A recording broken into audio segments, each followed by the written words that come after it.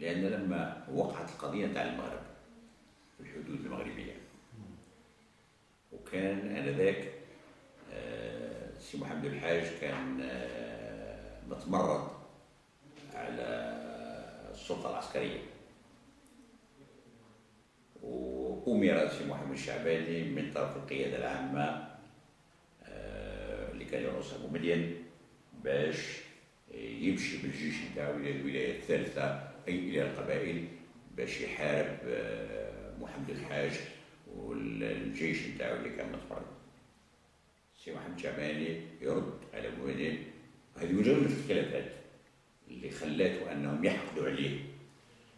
قال له عمري ما نسول لنفسي باش نشهر السلاح في وجه مجاهد اللي كنت أمس بجنبي لجنبه كيفما كانت نوعيته قبيلي ولا وراني ولا شاوي ولا أي مكان. فهذه بداية تمرد سي محمد شعبان وبما يعتبرها هو كتمرد.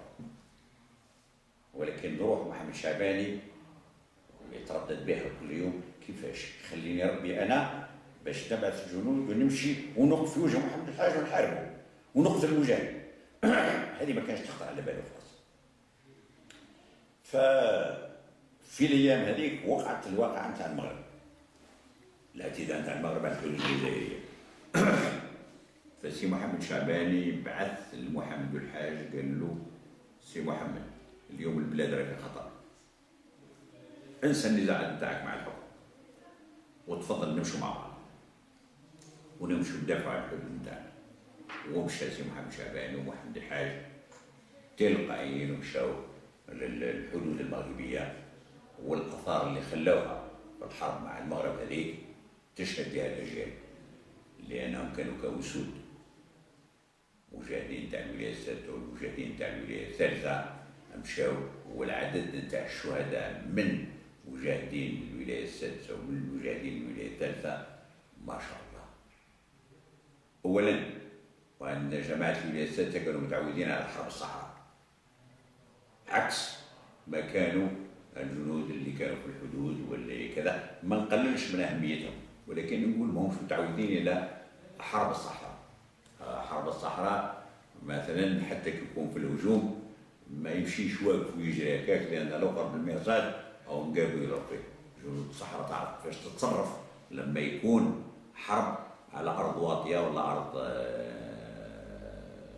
وخلى سي محمد شعباني أثار هائله في القضية هذه.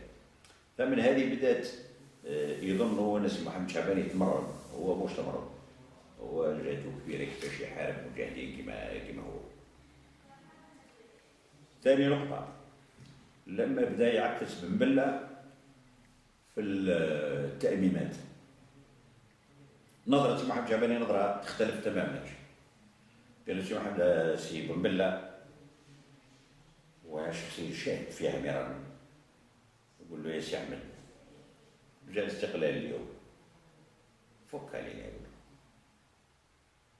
له شاهد السياسة اللي جايبة لنا تاع الترشح وتاع التأميمات وتاع كذا. خلي الجزائريين قالوا راهم تعابة من الثورة وتعابة من الاستعمار خلي الناس تبحبح على روحها.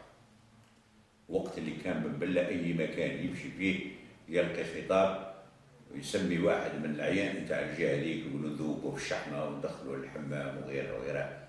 هذه كان كي يسمع محمد شعبان يشمئز. يقول له يا سي بلا جا الاستقلال والشعب كله في مربد.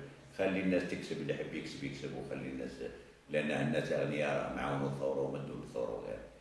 من هالخلافات في النظريات بدات يكبر الشقاق وتبدأ يكبر الشقاق.